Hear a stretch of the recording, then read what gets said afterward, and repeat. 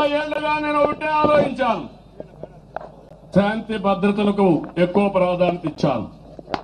ఏ ప్రజాస్వామ్య వ్యవస్థలైనా ఇంట్లో ఉండే వ్యక్తి ఆనందంగా ఉండగలిగితే ఆడబిడ్డ నడి రోడ్లో అర్ధరాత్రి తిరిగినప్పుడే నిజమైన స్వాతంత్రమని గాంధీజీ చెప్పాడు. ఈరోజు ఆడబిడ్డలకు వదిలిపెట్టండి మగవాళ్ళు మధ్యాహ్నం పన్నెండు గంటలకు రోడ్డు మీద తిరిగే పరిస్థితి లేదు. దానికి ఉదాహరణ రవిచంద్ర. ఇక్కడ ఎన్టీఆర్ ఉన్నారు. అంబేద్కర్ గారు ఉన్నారు. ఇక్కడే బస్ స్టాండ్. అక్కడే దాడి చేస్తా ఉంటే పోలీసులు మీకు కళ్ళు కనపడలా? కళ్ళు కనపడలా? ఇక్కడే కోతలోనే పోలీస్ స్టేషన్ అదే పోలీస్ స్టేషన్ అయ్యా పోలీస్ స్టేషన్ చూడు.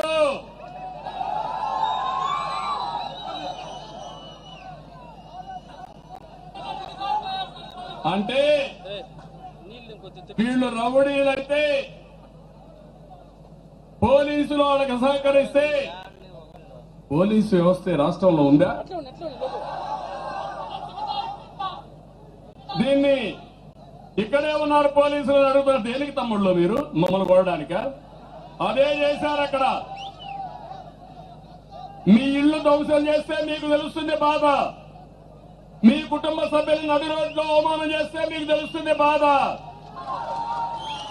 అలాంటి ప్రతి ఒక్క కార్యకర్త అన్నా క్యాంటీన్ కొడితే ఎన్టీఆర్ సాక్షి కొడితే ఆవేశం ఆధారం అడుగుతున్నా మిమ్మల్ని. ఇక్కడ కొట్టిన వ్యక్తిని పోలీస్ స్టేషన్ తీసుకుపోవాలా? ఎక్కడికి తీసుకెళ్ళారు? వాళ్ళ ఇంటికి తీసుకెళ్తారా మీరు? కాపాడడానికి రమ్మనండి ఇప్పుడు నేను చూస్తా. మగవాళ్ళైతే ధైర్యం ఉంటే ఇప్పుడు చేసేవాళ్ళని మీరు. సవాలు విసురుతున్నా ఏ, జగన్మోహన్ రెడ్డి నువ్వు కూడా రా. రామచంద్రారెడ్డి నువ్వు కూడా రా. కుప్పంలో చోటా మోటా కాదు మీరందరూ రండి. డీజీపీ నువ్వు కూడా రా ఇక్కడ చూడడానికి. తమాషానా నీకు? మీరు ఒకటి గుర్తుపెట్టుకోండి. రౌడీలను అణిచివేసిన పార్టీ తెలుగుదేశం ప్రభుత్వం. గూండాలకు గుణపాఠం చెప్పిన పార్టీ తెలుగుదేశం. ముఠా నాయకులను అణిచివేసిన పార్టీ తెలుగుదేశం. తీవ్రవాదుల పైన పోరాడిన పార్టీ తెలుగుదేశం ప్రభుత్వం. మత విద్వేషాలను కంట్రోల్ చేసిన పార్టీ తెలుగుదేశం పార్టీ. ఈ రోజు రాజకీయంగా పోలీసులను అడ్డం పెట్టుకొని మీరు చేస్తారా? వ్యవస్థకు విలువ ఉందా అడుగుతున్నా. అందుకే నేను కూడా డిసైడ్ చేసుకున్నా. రాబోయే రోజుల్లో ఒకటే చెప్తున్నా. పోలీసు వ్యవస్థ సక్రమంగా నడకపోతే ప్రజా తిరుగుబాటు అనివార్యం జరుగుతుంది. దానికి నాయకత్వం తెలుగుదేశం పార్టీ. వస్తా రోడ్డు మీదకి. ఎవరు వస్తారో నేను చూస్తా. అరెస్ట్ చేస్తావా చెయ్యి కోర్టులు ఏం చెప్తాయో చూస్తాం. అంతేగాని ఇష్టాలు రాజ్యంగా చేస్తే ఇక్కడేదో భరించడానికి ఉన్నారని ప్రజలు నిస్సహాయంగా వదిలిపెట్టి పారిపోతారనుకుంటున్నారు. నిన్నేం జరిగింది కొల్లపల్లిలో నేను వెళ్ళాను. నేను ఎమ్మెల్యేకి వెళ్ళడానికి వీలుగా తమ్ముడు. వీళ్ళేనా? ముప్పై ఐదేళ్ళు ఎమ్మెల్యేగా పూర్తి చేస్తున్నాను ఏడు ఎలక్షన్లో నేను నిన్న ప్రోగ్రాం ఇచ్చాను. అదే మరి ఎవరైతే ఇక్కడ డిఎస్పీ సిఐ అందరూ అందరికీ చెప్పారు. చెప్పితే నా మీటింగ్ దగ్గరకు వచ్చి జెండాలు కట్టి జెండా ఎగరేస్తారా మీరు? ఎంత కండ కవరం ఉండాలి మీకు? ఎంత కొవ్వు ఉండాలి? ఎంత కొవ్వు ఎక్కువ ఉండాలా? ఇదే మారిగా మీరు చూస్తే ఎందుకు ఇవన్నీ చేస్తారంటే పోయినసారి వచ్చాను. ఇష్టానుసారంగా గ్రనైట్ కుప్పంలో గ్రనైట్ ఉంది.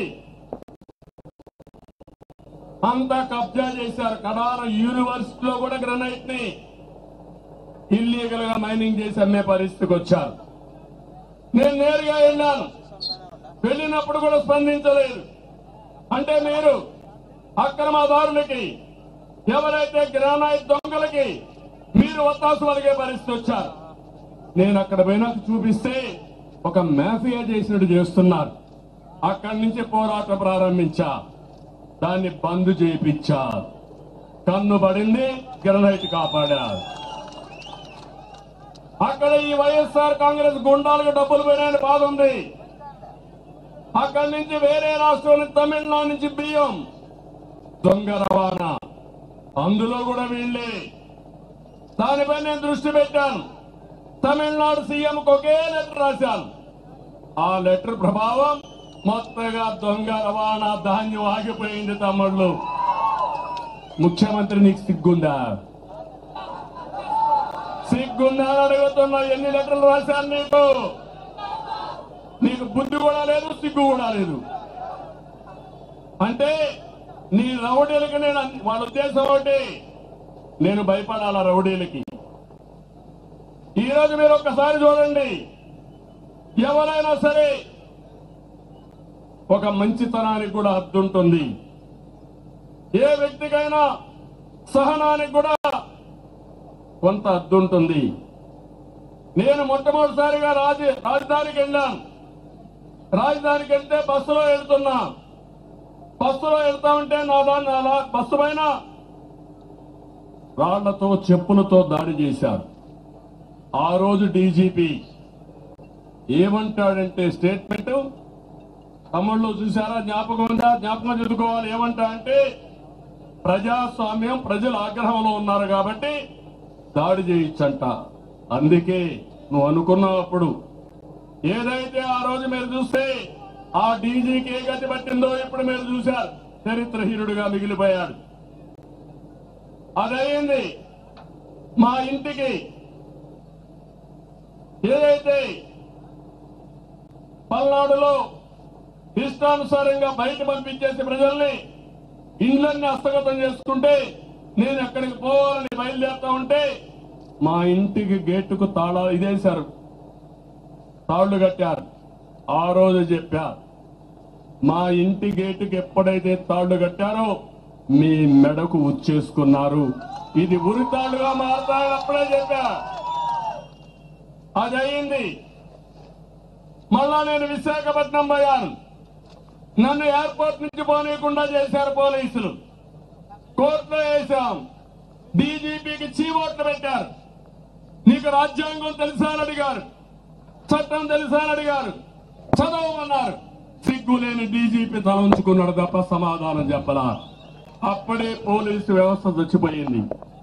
ఇలాంటి డీజీపీని పెట్టుకున్నప్పుడే అది జరుగుతా ఉంది కేసు. ఇప్పుడు నిన్న చూస్తే మళ్ళీ మా ఇంటికి రౌడీలు పంపించారు. ఆ రౌడీలకు ప్రమోషన్ ఇచ్చి మంత్రులు చేశాడు జగన్మోహన్ రెడ్డి. అప్పుడు ఆ ఎస్పీ చెప్తాడు ఏమని చెప్పాడంటే నా దగ్గరికి అపాయింట్మెంట్కు వచ్చారు దాడికి కాదని సర్టిఫికెట్ ఇస్తాడు ఎస్పీ. నా అపాయింట్మెంట్ కావాలా వైఎస్ఆర్ కాంగ్రెస్ దొంగలకి గుండాలకి? నా అపాయింట్మెంట్ గారు కావాల్సింది. ఈ నాలుగు సంఘటనలు జరిగిన తర్వాత వాళ్ళ ఉద్దేశం ఏంటంటే నేను లేకపోతే అపోజిషన్ లేకపోతే ఎవరు బయట రారు మళ్ళా గెలిచిపోతాం అనుకుంటున్నారు. మళ్ళా గెలిస్తే మీ మీద దాడులు చేయొచ్చు అనుకుంటున్నారు మీ ఆస్తులు లాక్కోవచ్చు అనుకుంటున్నారు. అందుకే చెప్తున్నా ఎంతో మందిని చూశాను నలభై ఏళ్ళలో. నువ్వు ఒక నేర చరిత్రుడివి. ఈ రాజ్యాంగంలో ఒకసారి నన్ను కానిస్టేబుల్ అడిగాడు సార్ నాకు ఒక చిన్న సందేహం ఉంది సార్ అన్నాడు. ఏంటయ్యా అని అడిగారు. అడిగితే ఆయన ఒక మాట అన్నాడు. సార్ ఇంత కరుడు కట్టిన నేరస్తుడు ముఖ్యమంత్రి అయ్యాడంటే రాజ్యాంగంలో తప్పుందా? ప్రజల్లో తప్పుందా? వ్యవస్థలో తప్పుందా? మీరు ఒక్కసారి ఆలోచించండి సార్ అన్నాడు. నాకు ఆన్సర్ కావాలన్నాడు. నేను ఆ రోజు చాలా బాధపడ్డా. ఒక కానిస్టేబుల్ ఆత్మసాక్షిగా అడిగిన క్వశ్చన్ అది. ఇలాంటివి జరిగాయి. అందుకని ఈ రోజు నేను ఒకటే ఇక్కడ డిక్లేర్ చేస్తున్నా. రాష్ట్రం మొత్తం ప్రొటెస్టులు చేస్తాం. రేపు మమ్మల్ని అరెస్ట్ చేయండి. మేము ఎక్కడికి పారిపోం? ఇక్కడే ఉంటాం. మీ పోలీస్ స్టేషన్ ఉంటాం. నువ్వు జైలు పోతే పంపిస్తే జైలు పోతాం. న్యాయం కోసరం ధర్మం కోసరం ధర్మం చేయించే వరకు ప్రజా పోరాటాలు ఆపమని మరొక్కసారి హెచ్చరిస్తున్నా.